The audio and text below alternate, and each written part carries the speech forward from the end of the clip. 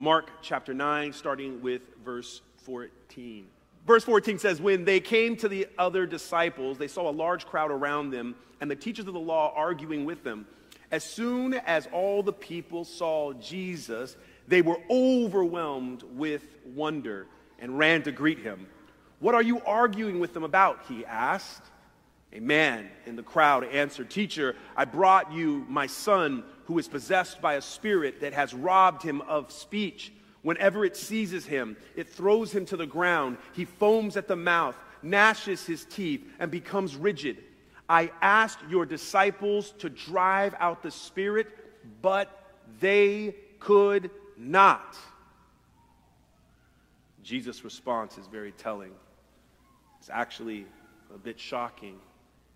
He turns to the crowd, probably focuses his gaze on his disciples, and says, You unbelieving generation, how long shall I stay with you? How long shall I put up with you? Let's pray. Father, we thank you for this opportunity we have to be in your word. We just ask for your spirit to be felt in this place. You asked us the question, How long? We will also ask you the question, How long? How much longer?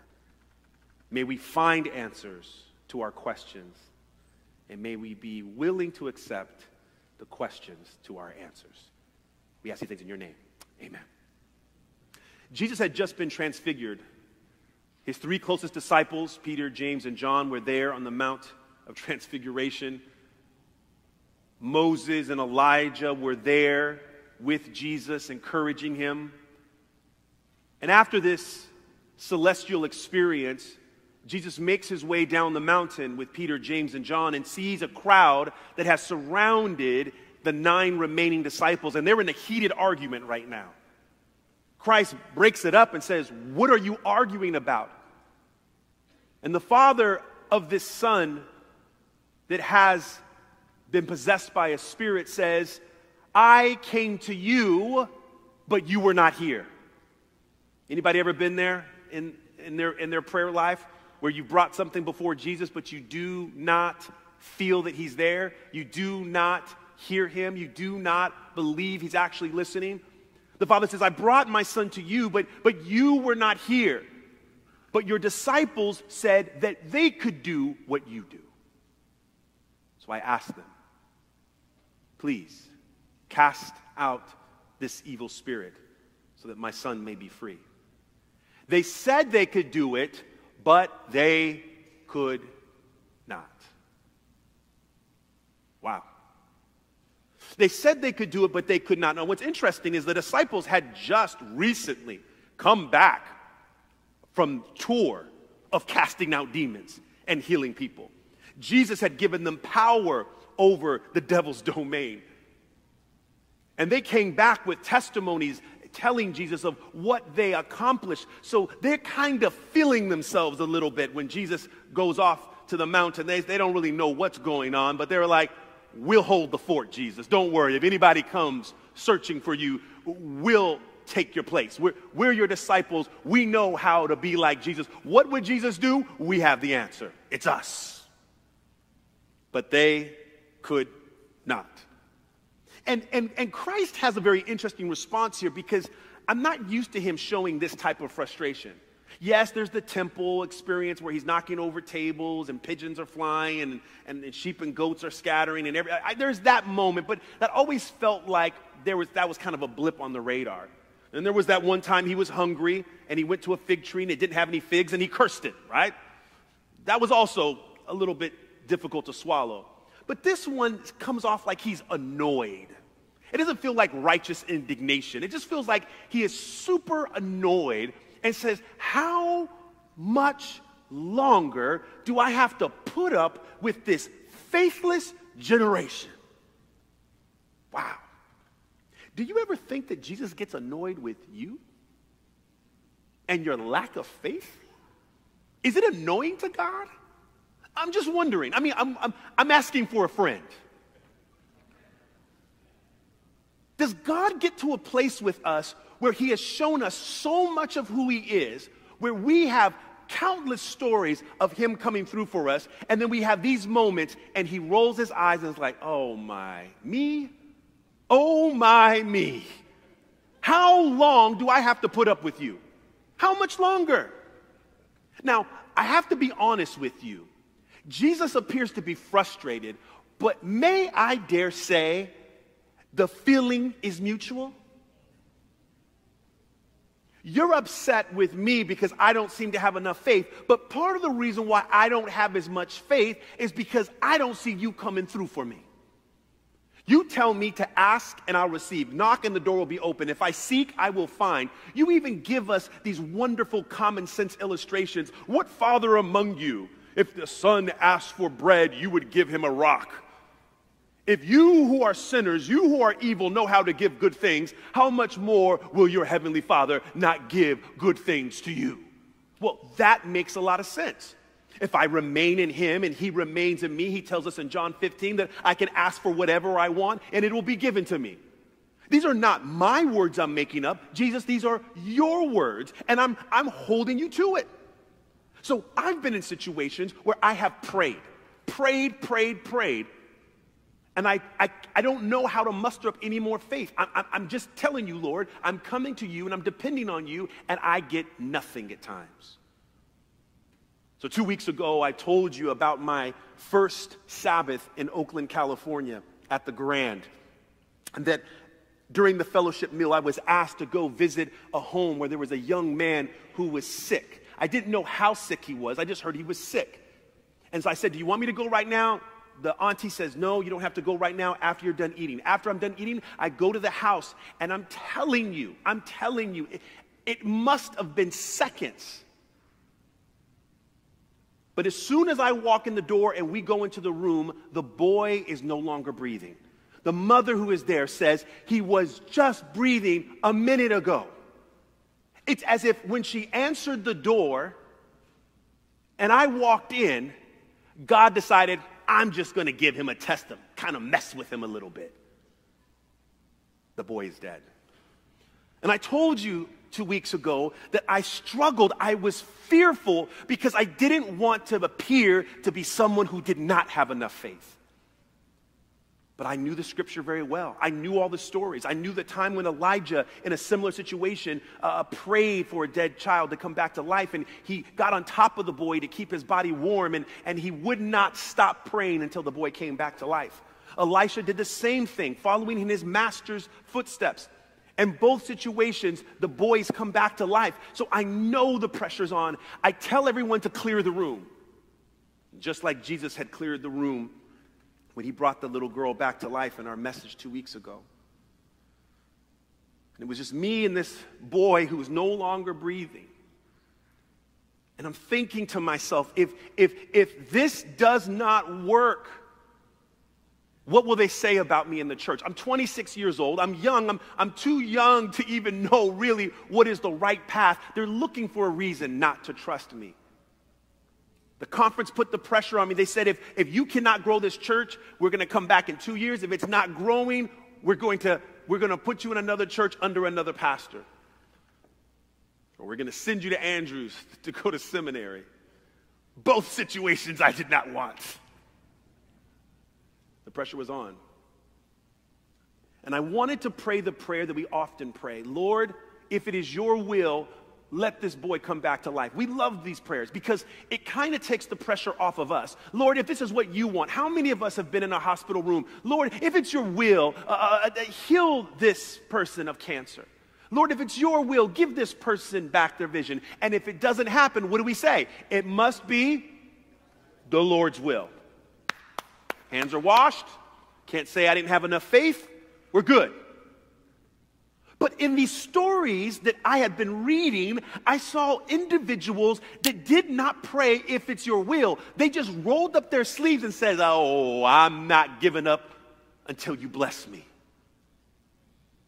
Abraham pleading for Sodom works him down from 50 righteous to 10. Jacob wrestles all night long. Elijah and Elisha won't leave the room until the boys come back to life. The Canaanite woman will not accept no for an answer until Jesus gives her what he, she wants. The Roman centurion says, Don't even come by my house, just say the word. And Christ says, I have not seen faith like this, not even in all of Israel. Then there's the parable of the, the, the, the, persistent widow in Luke 18, where Jesus says, Always pray and never become discouraged. And she will not give up until the wicked judge gives in. And Christ says, Listen to the, what the wicked judge did. Now, will God not give in to his people whom he loves? So I said, Lord, this can't just be about your will right now. It's about faith and what we want. And I'm telling you, in this moment, it felt too big. But it was me in the room with this boy, and I began to pray.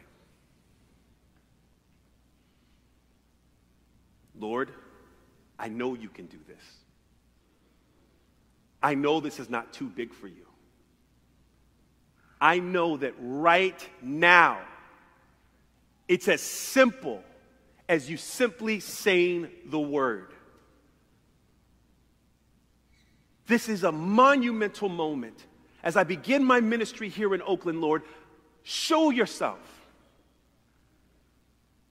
May your mighty hand be felt in this place.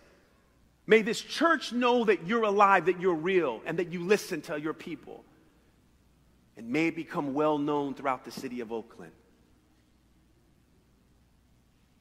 And then I had this thought in my head how long do I stay in this room and fight with God? Am I willing to pull an all nighter like Elijah? Am I willing to pull an all nighter like Jacob? How long? How long? And what if after wrestling all night long, God says no? You see, Jesus might ask the question, how much longer? But in my life, I've had to ask the same questions of him. How much longer? It shouldn't be that difficult. You either love us or you don't.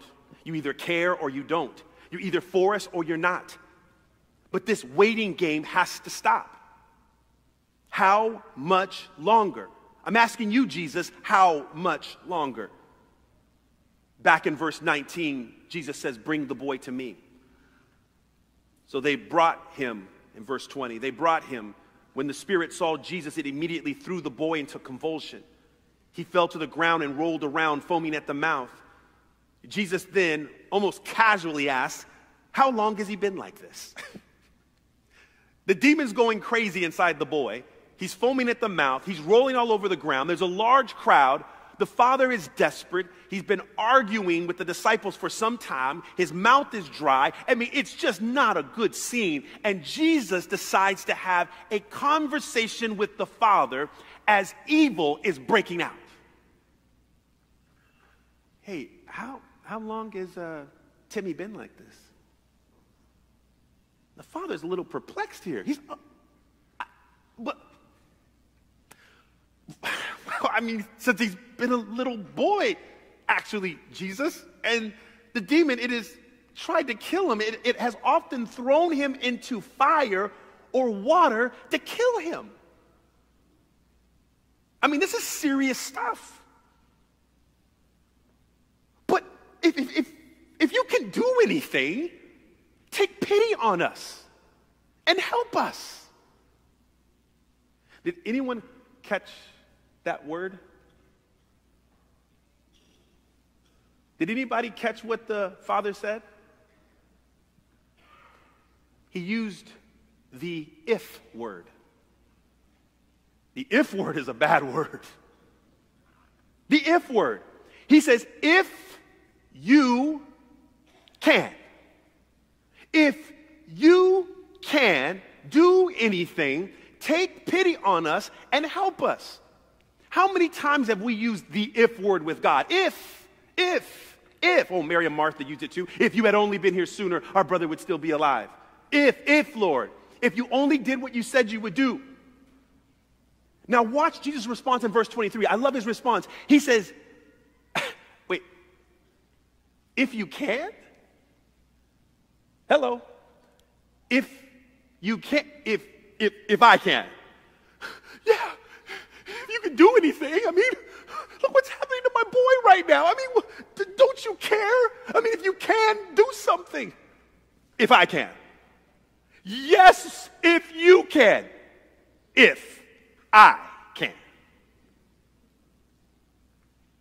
Jesus then does something that's maybe a little snarky. He says, if you can. If you can, if everything is possible for the one who believes. The if is not on God, the if is on us. And it's always been on us. How often does Jesus say, Your faith has made you whole? Several weeks ago, remember the woman with the issue of blood? What you believed, woman, your great faith, what you wanted. Jesus never gave permission for power to come out of him, pass through him. Remember, she pickpocketed him. It was her faith that made her whole. I know this is hard for a lot of us to accept, but there are a number of things that do not happen the way we would like them to happen in our life, not because the if is on God, but because the if was on us. I know that's hard to accept. I, I understand that. Now, that doesn't mean your life now is on the wrong path and there's no way to come back. No, no, no, no. It just means that some of the things that you asked for were not asked in true faith. Now, we're gonna, we're, gonna, we're gonna unpack what that really means, but don't feel bad. I'm not here to tell you you're not a good person because I've been there as well. I'm standing in front of a boy who was lifeless, and I'm telling you, I believe God could if he wanted to.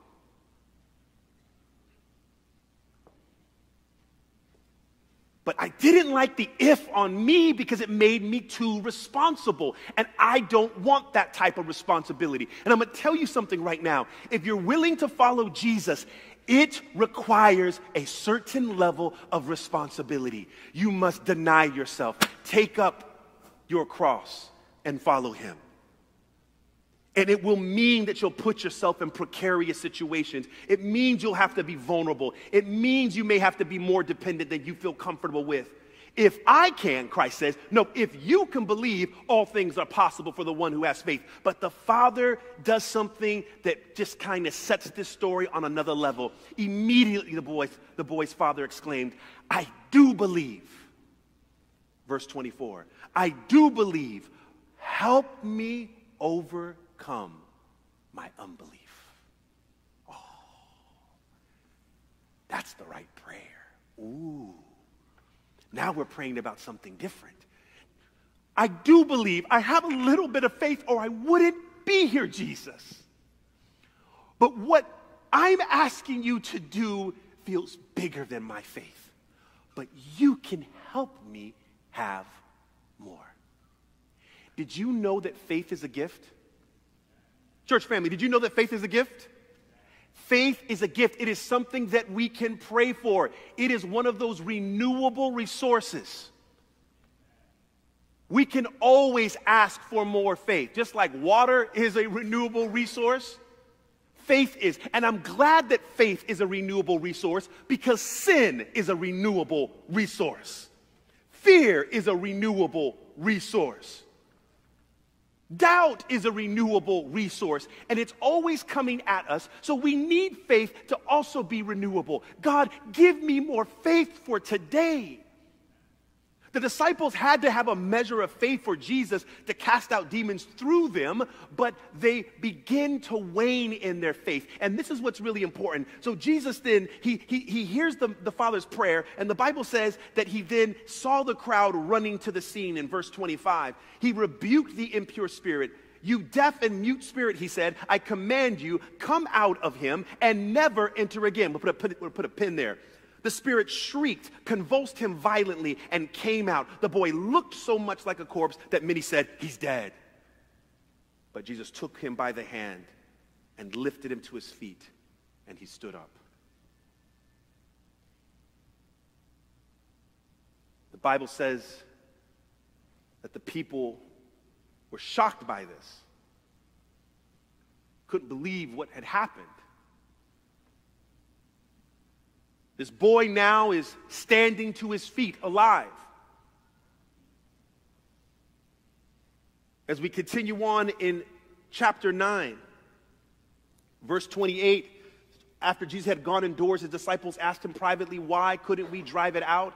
This kind of what?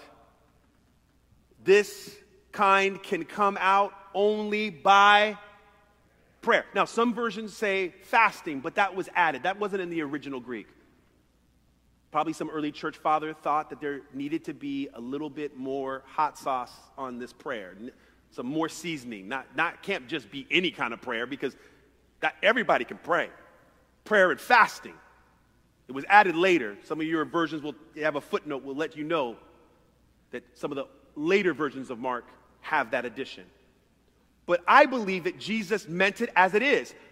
This can only happen through prayer. Well, that sounds too basic, too plain. But I want you to understand something. Christ is making a statement here. If he tells his disciples why they couldn't do it because they need prayer, that means they tried to cast out demons without prayer. Oh, y'all were feeling yourselves after casting out so many demons. He said, hey, bring your boy to us. We got it. You got this, Bartholomew? No, I got it, man. You guys back up. Watch, watch a pro. Hey, yo, demon, be gone. Didn't work, right? Judas is like, look at that demon gonna listen to me. A little foreshadowing. that demon gonna listen to me. Demon wasn't talking to Judas either, right? They're, they're trying their best but clearly, they never involved prayer because here's part of the issue. There's, there's three different camps of people when it comes to this subject of prayer. There are those that don't want to pray because they believe they can do it all on their own. Anybody like that here? In fact, the only time you do pray is when you finally realize you can't do it on your own. You won't wake up and pray. You don't talk to the Lord all day. You feel like you can get through life, your relationship, without prayer at all. Do you know the Bible says that Jesus would get up early in the morning just to pray?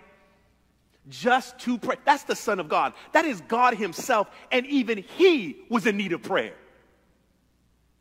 And so, so, so Jesus is saying it's, it's a prayer issue. You're not praying. You are so dependent on your past success. And I'm going to tell you something as a minister, we can fall into this camp. I've been pastoring for a long time.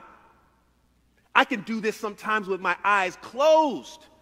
And I have to be careful because the Spirit sometimes will be leading me to do something different than what I've done in my past. Well, it worked back then. Yeah, it worked back then for a different group of people at a different point in time. I will not write down my entire sermon. I may have like an out, uh, a, kind of like a rough sketch. I may have a, a loose outline, but I never do. I never can preach the exact same sermon because it's different depending on who I'm talking to. And I want to leave room for the Holy Spirit to be able to speak to that congregation. And watch this. Not only does it change for them, it also changes for me. Even this text took on a whole new life reading it and studying it at this point in my life. I can't be dependent on past successes. It's a new day. And because sin is renewable and fear is renewable and doubt is renewable, faith must also be renewable. The Holy Spirit is also renewable day by day, like fresh morning dew. Jesus is like, no, no, you need prayer. But, but we already prayed like like a month ago when we cast out all those demons. It, doesn't that work for every? Can I just say, Lord, just, just save me on the freeway in LA just one time and he'll do it? What's the problem with connecting more regularly? So, Pastor, will he not spare me? Will he not save me if I'm on the freeway? All I'm saying is that Jesus said the reason why this didn't happen to their liking is because they didn't pray. Well, how often do I pray? Christ says, pray all times. Paul says, pray without ceasing. Christ says, pray all, all times and never grow discouraged. Luke 18, 1. But when is there a point when I stop praying? Christ never tells us to stop praying.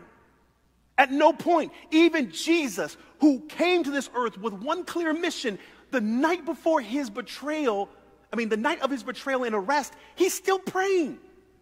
Is, is there another way? I mean, I, I know what we talked about, Dad. I, I, I know I get it, I get it, I get it. But I'm in need of prayer right now. He tells his disciples, watch and what? Watch and pray. Watch and pray. We often don't experience what God intends for us to experience because we don't do it with prayer. We do not have the faith to trust. And faith simply is not just God can do it. Faith is also, I put myself in a position and posture of vulnerability to depend on you, Lord. I know that I cannot do it alone. I need you. Only by prayer does this, does this happen. And sometimes, let me tell you something, your prayer life doesn't have to be all that elaborate. I don't like when people try to make it formulaic. People will look at the, the, the, Lord's Prayer and say, it's, a, it's an outline to pray for an hour every day. Stop it. You're just selling books. Stop. Sometimes prayers are short and sweet. One of the sweetest, shortest prayers in the Bible is, Lord, help. That's Peter on, on the water as he's drowning. Was it a prayer? Absolutely. I talked to a member this week, and she was sharing about having a, a, a really challenging time. And she said, I, I, I, I didn't even know what to say to the Lord. My prayer was simply this it hurts. Amen. Was like, oh, that's a powerful prayer. That's all her prayer was. It hurts. Amen. Was her prayer heard? Did it matter? Was Jesus listening? Could he empathize? Could Jesus empathize with that prayer? It hurts. Amen. We have to understand that, that, that, that, that this, this, this vehicle of prayer is for us to connect with God, and it has a purpose. And if we believe that all the success we experience in life happens outside of our faith, outside of our experience and relationship with God, we're fooling ourselves. This only happens by prayer. So one camp doesn't want to use God at all to work on it. The other camp wants God to do everything. All things, everything, Lord, everything that I experience in life, all my success, it's all you, it's all you. God never says that. There's no point in, point in scripture where God says everything you've ever done, everything that has been good, all of it, it's just me, me, me. God has always, the Bible says, looked to partner with people. That's what prayer is about. Prayer is not just listening, and prayer is not just talking. It is communication. It is, it is, it is God speaking to us and us listening, us speaking to God and God listening. It has always been a partnership between man and God. Those who say, it's God, I'm just gonna trust on Him, I'm just gonna, He's gonna do it. If He's gonna save our marriage, it's gonna be Him. He's gonna save my kids, it's just gonna be all God. God says, well, actually, it, it's, kind of, it's gonna require a little bit of therapy. Hello? It can't be just prayer alone. Well, you know God. You know, I mean, I mean, you, you know, but I mean, I just, I'd rather just depend on you completely. Folk who just want to depend on God solely and add nothing to it are lazy.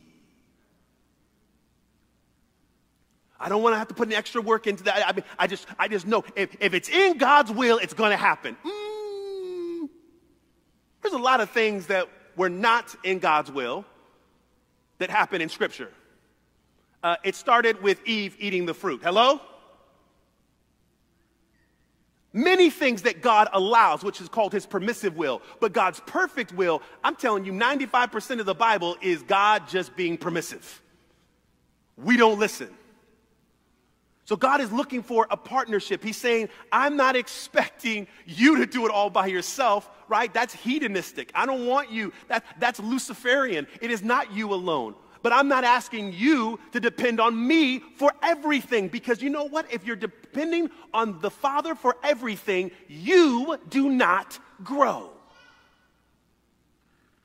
Imagine if I didn't allow my son to ever place his feet on the ground. I'm going to hold you for the rest of your life. Oh, yes, Lord, hold me for the rest of your life, for the rest of my life. Just hold me, Lord. And, and God just carrying you the entire time. Yeah, just carry me. Remember that poem, Footprints in the Sand? Oh, just carry me, Lord. No, He carries you for portions. But you have to learn to walk on your own. You have to develop those muscles. It is important for you to learn and to trip up and fall. All of that, even failure can be a teacher. We've talked about that before. So prayer involves our successes, our failures. It is a back and forth.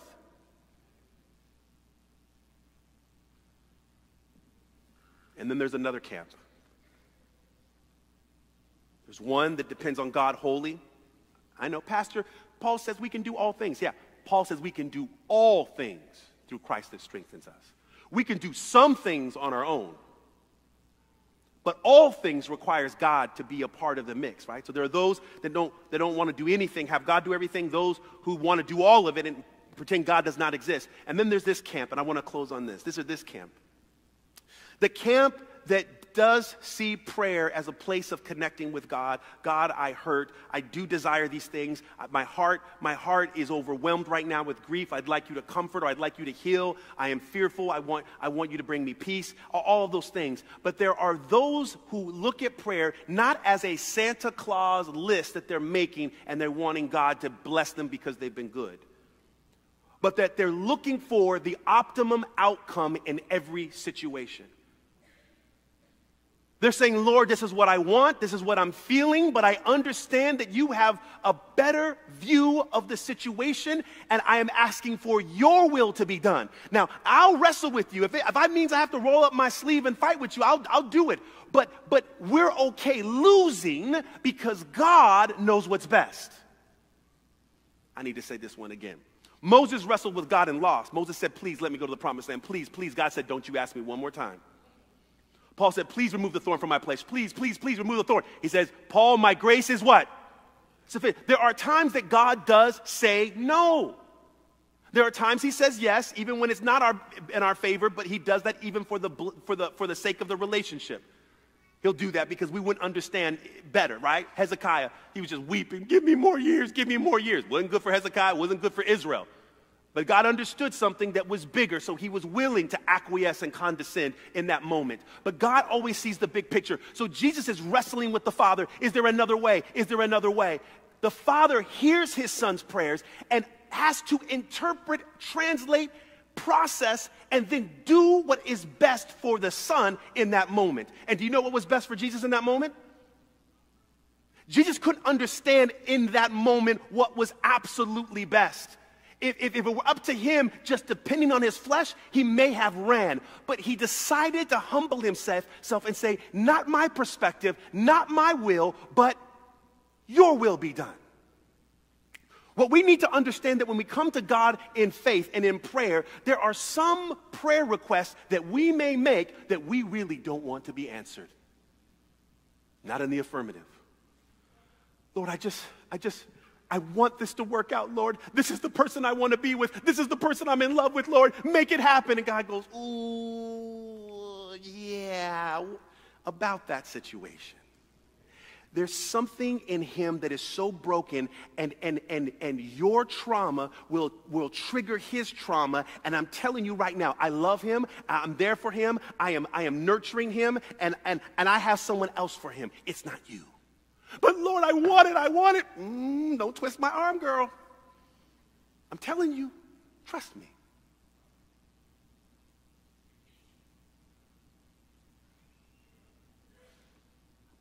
I wrestled.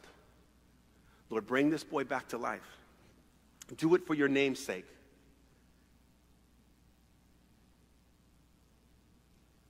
When I left that room, was still dead.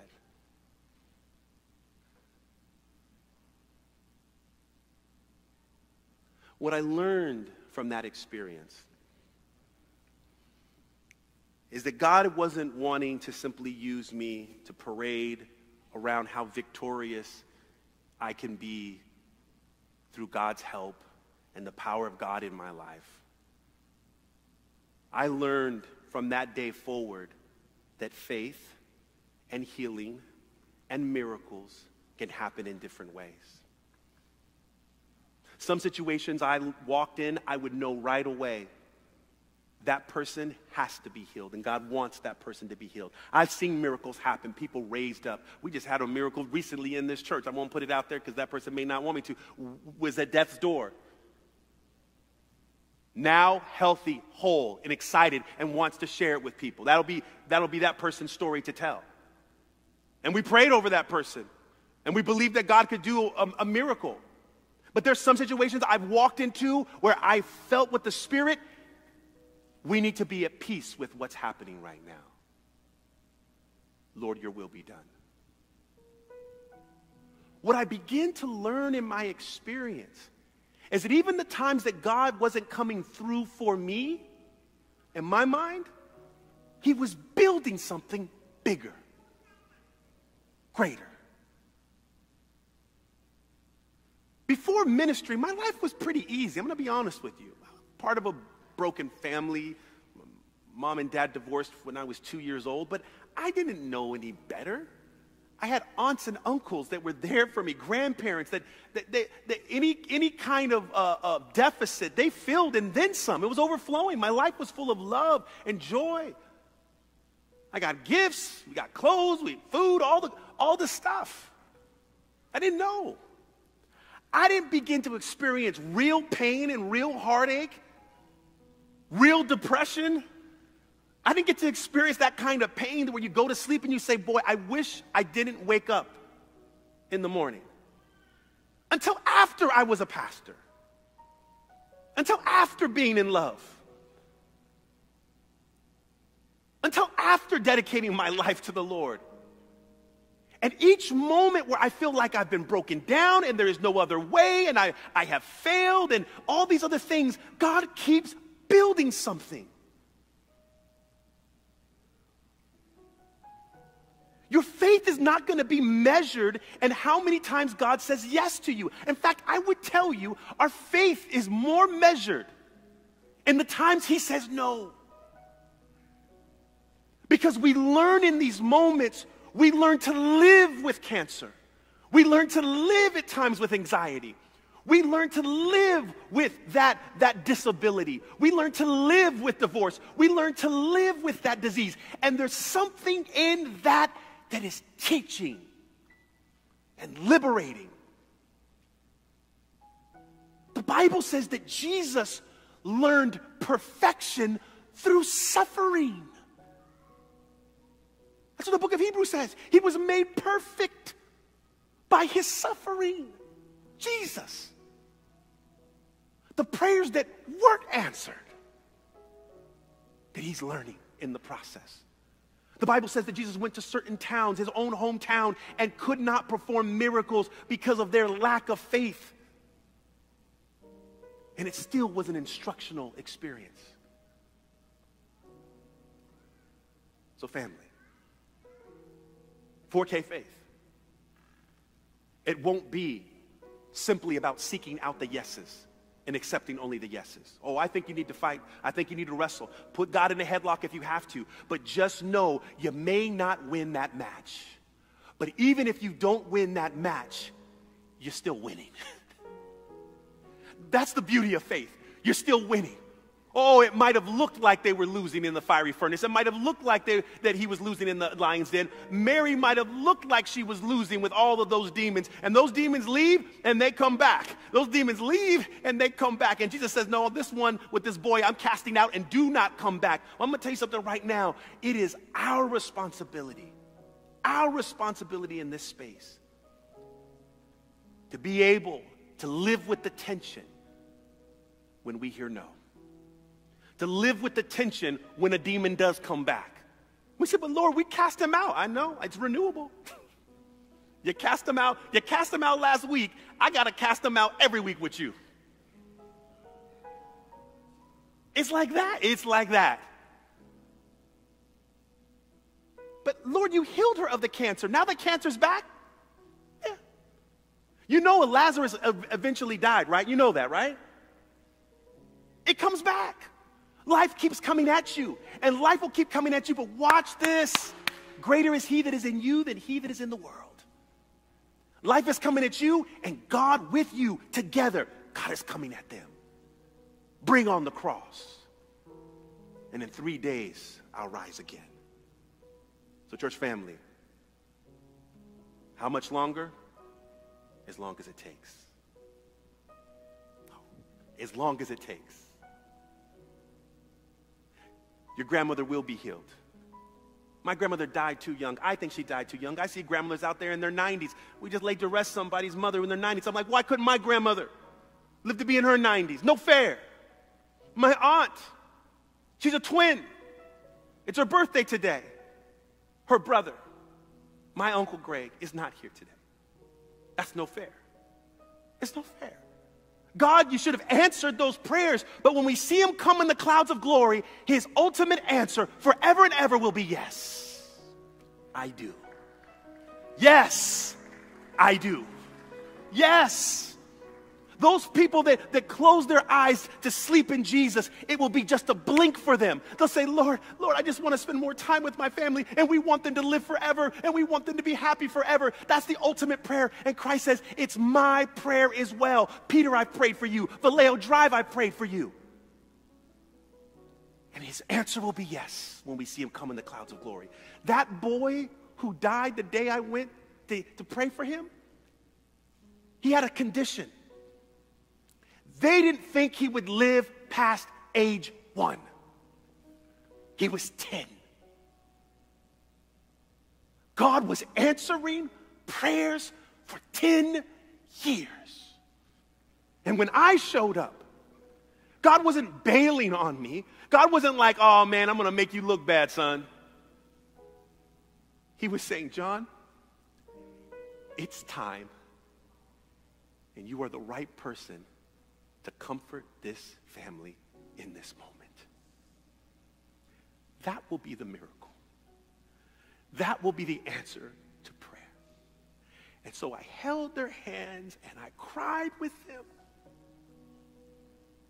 And most of my ministry is crying with people. Most of my ministry is comforting people. Most of my ministry is in the no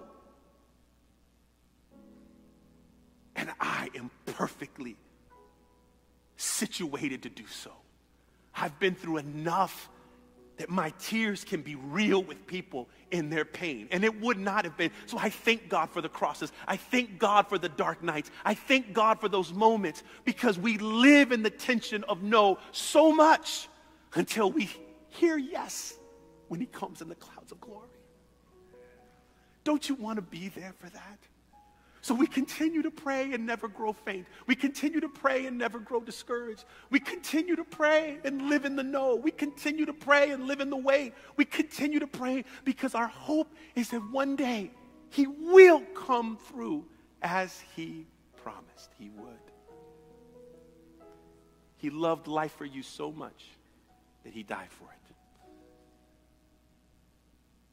Can you wait in the tension with me?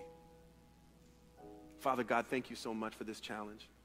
It is so difficult at times to deal with the tension of the no's and prayers, to know how our faith works. So, Father, we, we right now want to, we don't ever want a prayer not to be answered the affirmative because we didn't have enough faith, because we weren't willing to pray, because we weren't willing to be vulnerable, we weren't willing to wrestle. We'll do that. We'll do our part, knowing that you will do your part. The if is not on you alone, the if is on us. We know that. We accept that. But Father, in the space where there is tension, where we hear the no, we'll trust that you know best. And if it's a cross we must carry, if it's cancer we must bear, if it's a broken relationship we must endure, we know you're not manipulating and controlling it. It's just sin. Sin is a renewable resource. So our faith must be renewable, our hope must be renewable. And so we submit to you again knowing that one day you will come and say, Yes, I do forever. We thank you. How much longer should we wait? As long as it takes, Jesus.